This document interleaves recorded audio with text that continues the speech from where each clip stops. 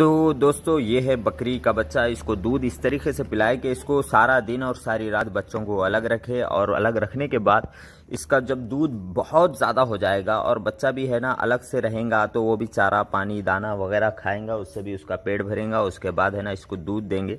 तो ये इसके लिए पेट भी भर जाएगा और इसके लिए फ़ायदेमंद भी है।